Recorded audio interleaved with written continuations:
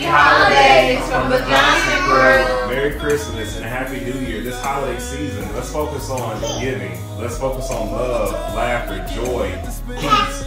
It's not always about what you receive or about the food that you're going to eat, but let's focus on those things that, that matter, those things that are important. The enemy always tries to come in and destroy our marriages, destroy our families, but let's focus on love this holiday season. Let this year be filled with making lots of memories actually be in the moment, be in the present, take the time to be able to be with your loved ones and friends.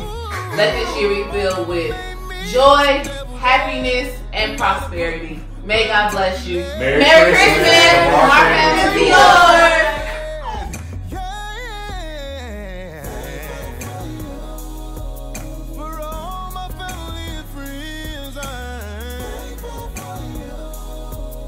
time